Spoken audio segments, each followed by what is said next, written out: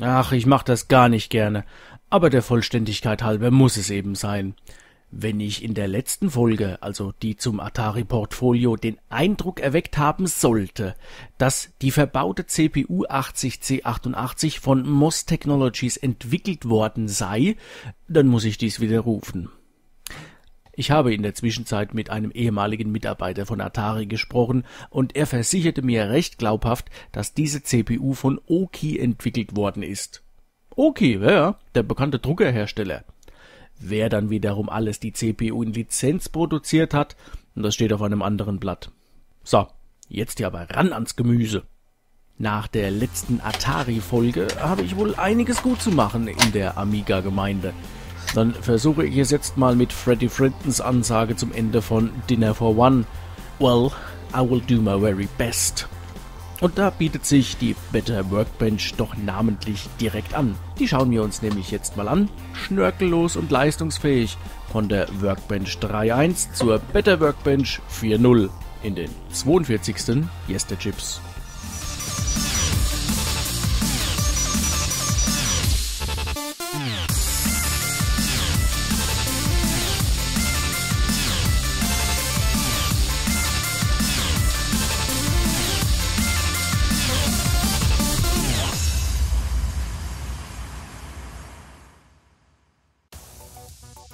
Aus diversen früheren Yesterchips-Folgen kennen wir ja bereits die quietschbunte Classic Workbench. Diese ist, ebenso wie die nun antretende Better Workbench, eine Erweiterung zum Grundgerüst der normalen Workbench 3.1. Unterschied auf dieser Ebene? Die Classic Workbench bietet noch Versionen für OS 3.5 und OS 3.9. Eines ist die Better Workbench sicherlich nicht, ein Augenschmaus. Nein, diese Erweiterung will vor allem puristisch sein und mit breitem Funktionsumfang sowie Geschwindigkeit glänzen und nicht mit vielen Farben, Hintergrundbildern und schicken Piktogrammen. Womit wir auch schon gleich bei den sehr bescheidenen Systemvoraussetzungen wären. Die Better Workbench läuft auf einem einfachen Amiga 1200, also 68020er Prozessor und 2 MB Chip-RAM sowie mindestens Kickstart 3.0 und mindestens 10 MB freiem Festplattenspeicher. Die niedrigste lauffähige Konfiguration, welche ich unter WinUAE mal emuliert hatte, war ein Amiga 500 mit 512 KB Chip-RAM. Da startete die Better Workbench zwar auch, aber mit dann nur noch 190 KB freiem RAM macht das freilich keinen Spaß. Unabhängig von der Hardware ist es unbedingt erforderlich, dass bereits eine Workbench 3.1 Installation vorhanden ist. Wo bekommt man die Better Workbench nun her? Na, am besten direkt vom Hersteller. lilliput.amiga-projects.net Hier gibt's auch noch mehr Zeug für den Amiga zum Download, allesamt Projekte vom guten Gulliver. Gehen wir also auf Better Workbench. Die ersten angebotenen Downloads lassen wir links liegen. Dies sind Update-Installationen, wenn man bereits eine ältere Better Workbench-Version installiert hat. Was uns interessiert, ist dieser Link hier, die Vollinstallation. Wir können entweder ADF oder DMS-Disketten-Images herunterladen.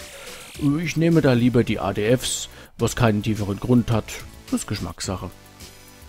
In dem heruntergeladenen ZIP-File befinden sich insgesamt sechs Disketten-Images.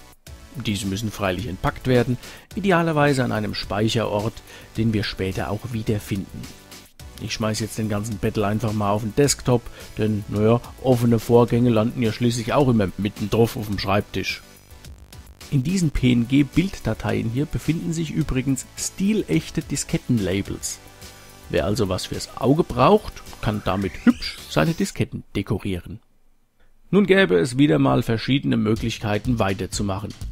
Schnell und bequem in einem Amiga-Emulator wie etwa WinUAE oder klassisch mit einem richtigen Amiga, einer richtigen Festplatte und mit richtigen Disketten. Bei der Classic Workbench habe ich damals auf den Emulator gesetzt, die Better Workbench ist jedoch von Natur aus ein Asket und daher greife ich jetzt erstmal voll in die Diskettenkiste und zerre sechs Double Density Disketten raus. Jawohl. Selbstverständlich. Na, wobei. Na doch eher nicht. Ich habe ja dieses Dingelchen hier. den HXC Floppy Emulator Revision F, welcher sich einwandfrei auch als externes Diskettenlaufwerk einsetzen lässt. Nähere Infos zu diesem tollen Stückchen Hardware findet ihr in der Folge 9 der erste Chips.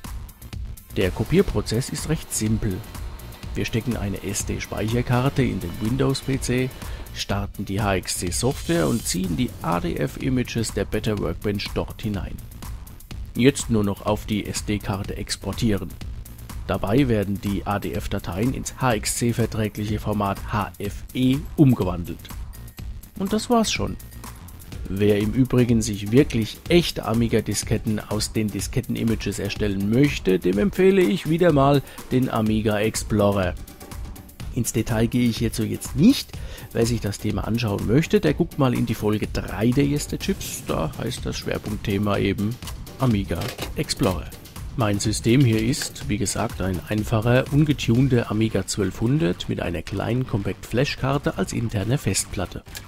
Der Vollständigkeit halber schauen wir uns auch nochmal ganz geschwind die Installation der Workbench 3.1 an, also der Workbench, die man damals normalerweise zu seinem Amiga 1200 dazu gekauft hat oder die schon vorinstalliert war. Natürlich braucht ihr hierfür die entsprechenden Disketten oder eben Disketten-Images. Booten wir also jetzt den Amiga von der ersten Workbench 3.1 Diskette mit dem Namen Install. Dies würde übrigens auch vom HXC Floppy Emulator am Diskport funktionieren, hätten wir denn dort nun das entsprechende Disketten-Image der Workbench Install Diskette angewählt. Denn ab Kickstart 2.0 können Amigas auch von anderen Diskettenlaufwerken booten, nicht nur vom ersten Laufwerk namens DF0, welches für gewöhnlich das interne ist. Auf der Install-Diskette finden wir unter HD Tools die HD Toolbox. Wenn wir diese öffnen, sollten wir unsere internen Festplatten sehen. In diesem Falle ja die gern genutzte Lösung mit einer Compact Flash Karte. Da diese Compact Flash Karte hier noch komplett verwindowst ist, also für den Amiga gänzlich unbrauchbar, müssen wir sie erst einrichten. Wir markieren die Compact Flash Karte und gehen auf Change Drive Type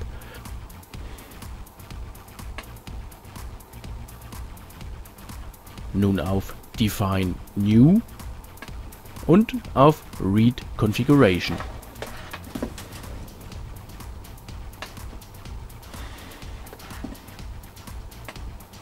Die Felder Manufacturer's Name, also Herstellername, Drive Name und Drive Revision kann man ändern, muss man aber nicht. Wichtig ist die Vergabe eines Namens für das Laufwerk, sonst meckert das Programm. Weiter geht's mit OK. Unsere eben neu erstellte Konfiguration ist nun markiert. Weiter mit OK. Jetzt sehen wir, dass uns nun alle Optionen zur Verfügung stehen, welche zuvor ausgegraut waren. Weiter geht's mit der Partitionierung über Partition Drive. Ich erstelle stets mindestens drei Partitionen. Eine für das System, also die Workbench, eine für Anwendungen und Spiele und eine für Versuche und temporäre Dateien. Das könnt ihr natürlich machen, wie ihr das am liebsten haben wollt. Über den Schieberegler hier oben kann man recht einfach die gewünschte Partitionsgröße einrichten. Neue Partitionen erstellt man, indem man auf New Partition klickt und dann in einen freien Speicherbereich. Dort wird dann automatisch eine neue Partition angelegt, welche den gesamten freien Speicher für sich in Anspruch nimmt. Unten bei Partition Device Name steht jetzt Change Me, also ändere mich, was wir auch tun werden. Klassischerweise heißt die erste Partition DH0, können wir hier ja auch so sehen, also nennen wir die nächste Partition DH1 und wiederum die nächste DH2. Das sind traditionelle Bezeichnungen, man kann auch andere verwenden, sie müssen jedoch stets im System einzigartig sein, dürfen also niemals mehrfach vorkommen. Da wir eine Compact Flash Karte verwenden, ist es wichtig, die Advanced Options zu öffnen. Hier lassen wir alles wie es ist und gehen auf Change. Hier stellen wir die Max Transfer Rate auf 0 x 1 FE00. Dies ist der empfohlene, sichere Wert für die Verwendung von Compact Flash Karten. Der Rest bleibt wie er ist. Nur noch rückwärts raus mit OK. Diese Aktion wiederholen wir für jede Partition.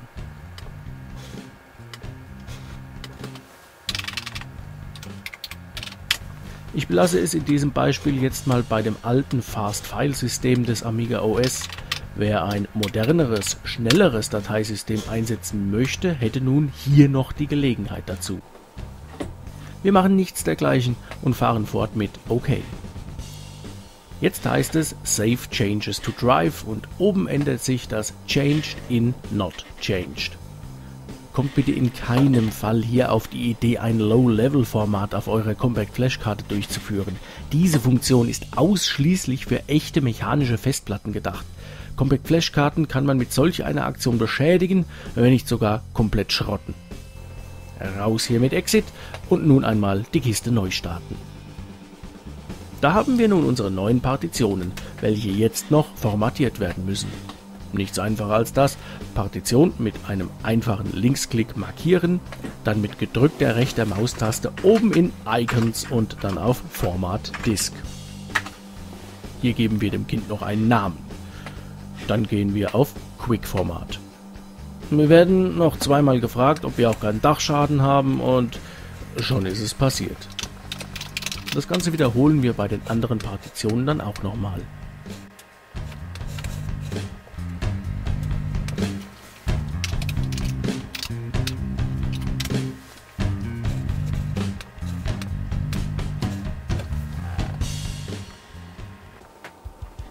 Jetzt können wir die Workbench 3.1 installieren, indem wir wieder die Install-Diskette öffnen und in den Ordner Install gehen.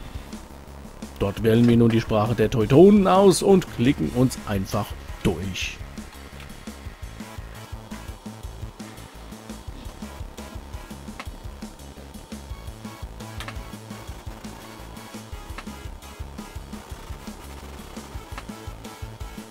Hier könnte man jetzt Druckertreiber installieren. Naja, brauche ich jetzt nicht wirklich. Also weiter. Und dann rennt die Installation, unterbrochen von ein paar Diskettenwechseln, munter durch. Während das Ding hier schafft, noch ein kleiner Tipp. Solltet ihr in der HD Toolbox eure interne Festplatte oder Compact Flash Karte nicht angezeigt bekommen, so markiert die HD Toolbox mit einem einfachen Linksklick und geht mit gedrückter rechter Maustaste oben auf Icon und dann auf Information. Hier muss hinter SCSI Device Name das SCSI Device stehen, beziehungsweise eben der Device-Name eures Festplattencontrollers. Damit es unter WinUAE mit einer HDF-Datei, einer Hardfile, also einer Datei, welche sich als Festplatte ausgibt, funktioniert, müsste hier UAE HF Device stehen. Einfach mal prüfen. So, die Installation der Workbench 3.1 ist fertig. Wir entnehmen sämtliche Disketten und lassen den Amiga einmal neu starten.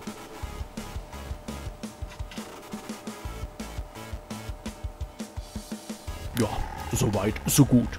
Aber mit der normalen Workbench 3.1 wollen wir uns ja nicht abgeben, sondern wir wollen mehr, wir wollen was Besseres, wir wollen die Better Workbench.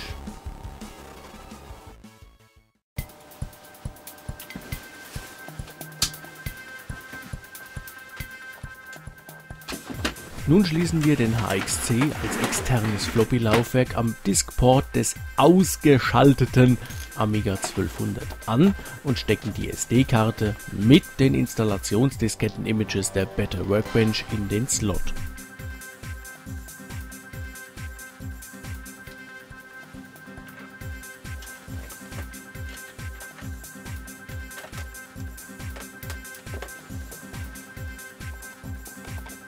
starten wir jetzt den Amiga 1200. Am HXC wähle ich nach dem Bootvorgang die erste Diskette aus. Dankenswerterweise sind die Image-Dateien durchnummeriert. Die Installation an sich ist wirklich ein Kinderspiel. Einfach Install Better Workbench ausführen und der Installer, das ist ein Träumchen. Keine lästigen Nachfragen, es wird direkt mit dem Kopierprozess begonnen. Macht hier also keinen Doppelklick, wenn ihr euch nicht wirklich sicher seid. Der fragt nicht lange, der macht einfach. Noch ein kleiner Tipp am Rande, wenn ihr diesen Vorgang doch lieber in einem Emulator machen wollt, dann aktiviert alle verfügbaren Diskettenlaufwerke und legt dort die Disketten-Images hinein, somit erspart ihr euch einige, wenn auch nur simulierte Diskettenwechsel. Die Disketten der Better Workbench sind übrigens bootfähig, allerdings bringt uns das nix. Wir erhalten bei eingelegter Diskette lediglich beim Starten des Amigas den freundlichen Hinweis, dass wir die Workbench 3.1 von Festplatte laden sollen, um die Better Workbench installieren zu können. Am Ende der Installation kommt eine Frage, die dem einfachen Otto-Normal-User ein Fragezeichen auf die Stirn nageln mag. So auch mir. Hier wird angeboten, das gesamte System zu beschleunigen, indem Umgebungsvariablen effizienter genutzt werden. Was auch immer das nun bedeuten mag. Für was ihr euch hier entscheidet, ist prinzipiell egal. Ich stehe auf schnell, daher sage ich Ja und akzeptiere den Warnhinweis, dass ich bei jeder Veränderung der Preferences eine Fehlermeldung angezeigt bekomme. Offensichtlich muss man für mehr Speed einen gewissen Preis zahlen. Und das war's schon an Installationsarbeit. Jetzt alle Disketten raus und neu starten.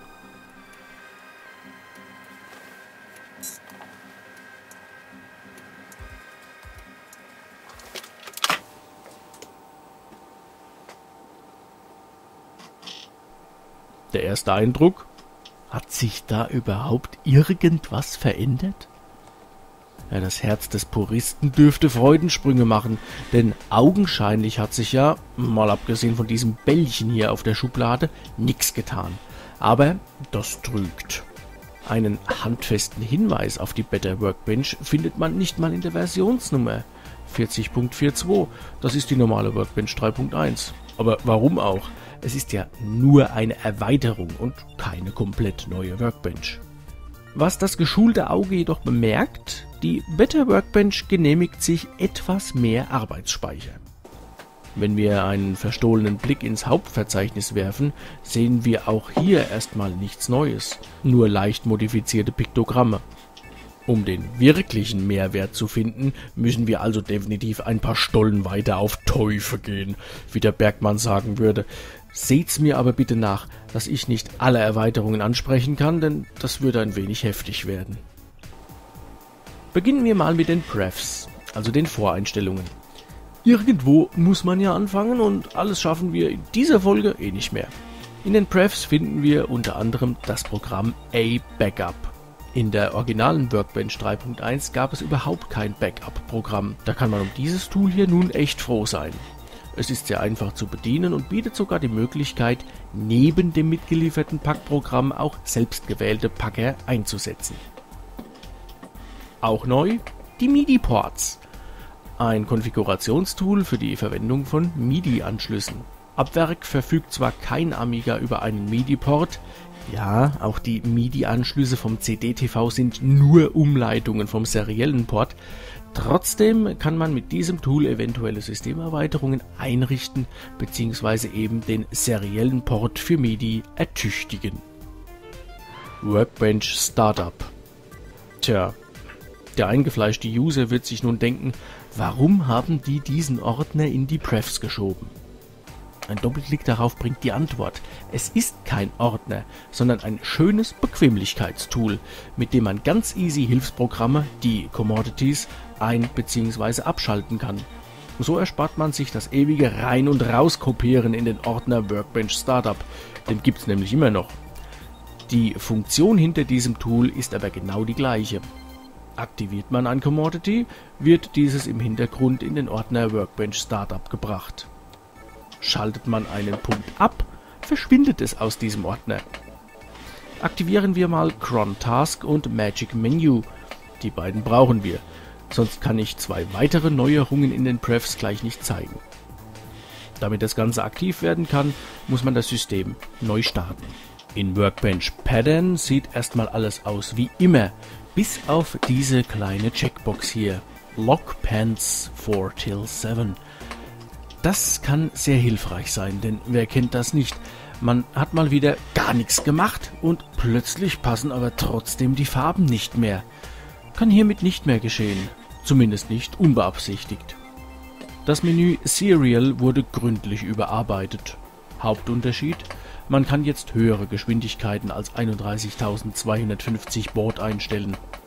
Und man kann nun deutlich komfortabler ein anderes serielles Device auswählen.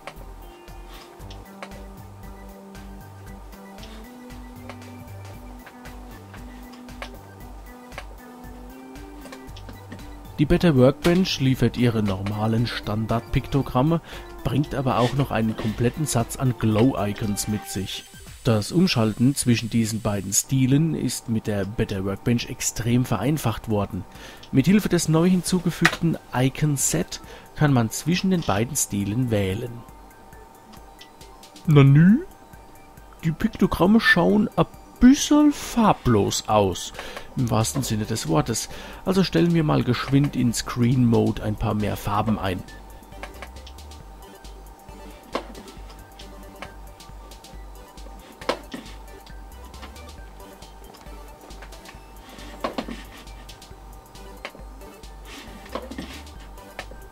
Diese Fehlermeldung hier ist die, welche wir vorhin bei der Installation in Kauf genommen haben. Kann man also bedenkenlos ignorieren.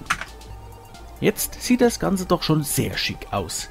Freilich nur wem's gefällt. Was aber sehr ordentlich ist, nicht nur das Erscheinungsbild der Piktogramme hat sich geändert, sondern auch die Positionen sind gleich aufgeräumt worden. Kein lästiges Überlappen, das Zeug ist gleich akkurat angerichtet.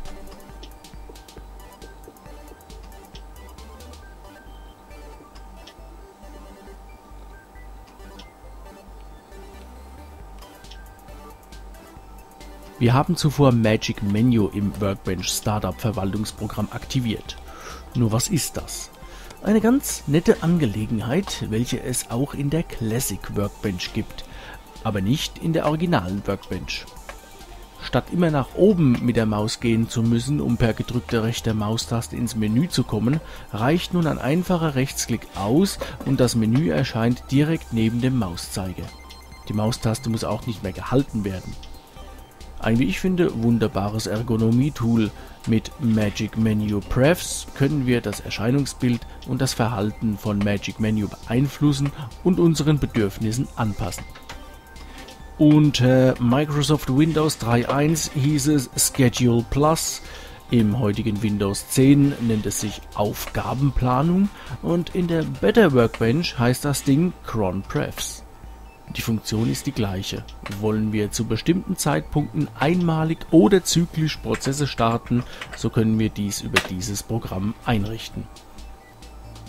Full Palette stellt die volle Kontrolle über alle verfügbaren Workbench-Farben, also bis zu 256 Stück in einem AGA Amiga zur Verfügung und sorgt dafür, dass diese Farben durch keine anderen Anwendungen modifiziert werden können. Man kennt das vielleicht von mehrfarbigen Piktogrammsets, die urplötzlich total bescheuert aussehen, weil die Farben durcheinander geraten sind. Hiermit hat man die Sache im Griff. Bevor wir diese Folge beenden, schauen wir noch geschwind in die Utilities rein. Dafür ist noch Zeit. Wir finden hier, neben den üblichen Programmen, die es auch bei der Workbench 3.1 gibt, den Audio-CD-Player ACD Player. Für den Betrieb eines selbigen braucht man freilich auch ein CD-Laufwerk. Kann ich leider nicht demonstrieren, denn ich habe kein CD-ROM-Laufwerk für meinen 1200er hier. Für den Liebhaber von netter Hintergrundmusik ist dies gewiss eine tolle Sache. Snoop DOS! Ja, endlich hat mal eine Workbench dieses Tool im Gepäck.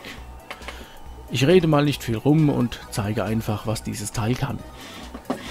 Snoop DOS zeigt uns in seinem Fenster die Vorgänge an, welche wir am Amiga ausführen und das recht detailgetreu. Wir können quasi sehen, was im Hintergrund so alles vor sich geht. Sollte mal eine Software nicht funktionieren und man kommt nicht klar mit der angezeigten Fehlermeldung, insofern es sie denn überhaupt gibt, kann man SnoopDOS im Hintergrund laufen lassen und später dann nachvollziehen, an welcher Stelle das Programm ausgestiegen ist und analysieren, an was es lag.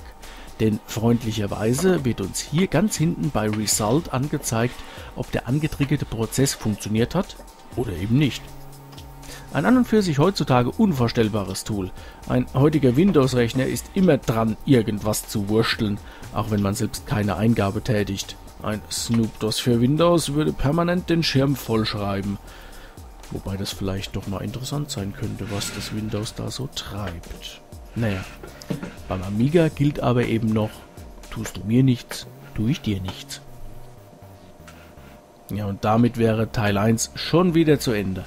In der nächsten Folge geht es weiter mit interessanten Features, welche uns die Better Workbench bietet. Eins jedoch vorweg für unsere Spielekinder, WHD Load ist nicht im Umfang der Better Workbench enthalten, wie dies etwa bei der Classic Workbench der Fall ist. Dies muss aber nichts Schlechtes sein, denn die WHD Load Versionen, welche in den Classic Workbenches enthalten sind, haben keineswegs den Anspruch, stets auf dem neuesten Stand zu sein. Da ist es also recht und billig, wenn man bei Verwendung der Better Workbench sich bei Bedarf WHD Load eben selbst und eben in der letzten verfügbaren Version herunterlädt und nutzt. An dieser Stelle ein ganz besonderes Dankeschön an das, der Name ist echt krass, an das Invalidenkommando, beziehungsweise denjenigen, der sich dahinter verbirgt. Da hat mir doch einfach mal so mir nix, dir nix das Retro Gamer Jahrbuch 2016 mit einem 30 Jahre Amiga Special zukommen lassen. Also mein lieber Mike, vielen lieben Dank dafür. So ein Geschenk kriegt man echt nicht alle Tage und es ist definitiv nichts Selbstverständliches. Dankeschön dafür und wir bleiben in Kontakt. Bis zum nächsten Mal dann. Adele, ciao und bye bye. Euer